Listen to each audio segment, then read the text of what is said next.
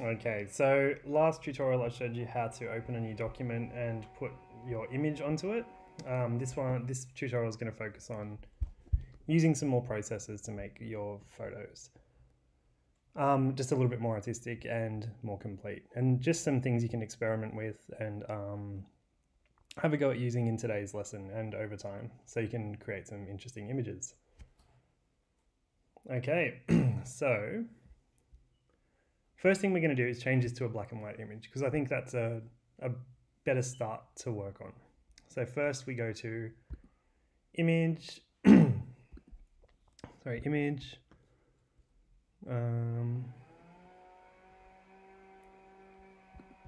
sorry, first we have to select a layer. That's why it's not working. So we'll just select the layer we're working on and go to image adjustments and we want to desaturate. So that'll just make it black and white. Um, after that, we can go to image adjustments again and change the brightness and contrast. So if we move this over here, I might just turn the brightness up a little bit not that much. And the contrast up as well.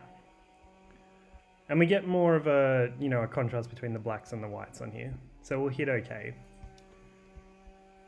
So that's a good start. That's something we can start to work on.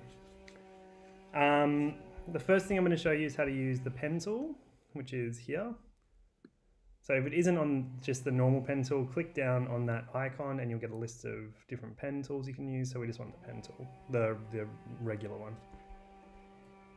And I think what we're going to do is just simple kind of drawing. So we're going to click on a point, click on another point, and we're going to make a rectangle that kind of goes over the eyes here. So once we've clicked around there and made and finished off that circuit, we can right click and select make selection. Um, and you'll see once you've made the selection, there's this kind of dotted flashing line around the shape that you drew. So to add color, we go to layer up the top here, uh, new fill layer and solid color. And yep, I mean yellow's okay. The colors obviously are gonna uh, be reflective of the subject matter and you're going to consider what colors and what they say about your subject. So we've got this. um, we can then, because it's, I think it's a bit bold and a bit kind of just, you know, breaks the image up a little too much. So we're going to go to the opacity over here, making sure that we've actually selected the layer that we're working on, which is the color layer. And we're going to change the opacity maybe to 75.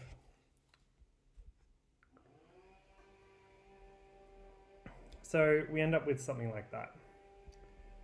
So the other thing we can do, so that's that's one option. You know, you can do, make shapes, color them. That could say something about your subject matter. The I'm just going to turn that off for a sec. So the other thing we can do is use the magnetic lasso tool. So that's under the marquee tool here. And if it's not on the magnetic lasso tool, we'll just select that. So this is good for um, you know selecting parts of the image and then changing them. So I'm just going to maybe color in my jacket. So I'm going to click on the start of it and then very, very carefully, because you have to be as careful as possible, trace around the outside of my jacket. And the, the magnetic lasso tool kind of automatically um, traces, but you have to be as close as possible, otherwise it just doesn't work. And what I'm doing as well is just putting little markers, like so clicking at certain points, and that kind of makes those marks more permanent.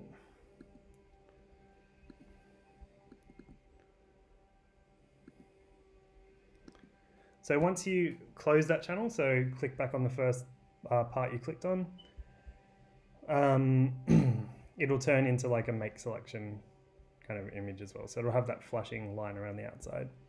So again, we're going to go to layer, new fill layer and solid color. And we're going to make that yellow. So as it, again, it looks a bit, bit too much. So I'll turn down the opacity and now I'm wearing a yellow jacket. Uh, it looks a bit dodgy around the edges. So we're going to go to Control T to transform again. And we're going to pull that jacket more in line with what it looks like in real life.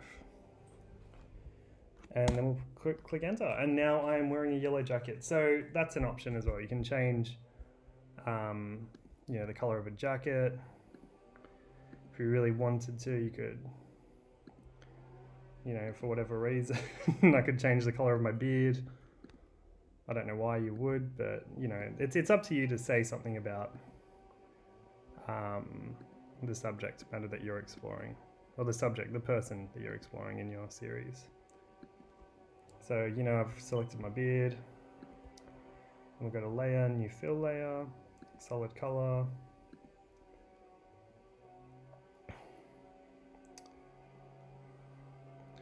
So I've done gradient there, which is an interesting one. You know, so you can change the opacity. Now I've got a, a, a rainbowish beard for whatever reason. So, you know, I wouldn't necessarily do this in my series, but it's just a demonstration of the techniques you could use in your work. Um, so that's it for this tutorial. Have a go at um, selecting areas and using a solid color um, uh, layer fill. So have a go at that.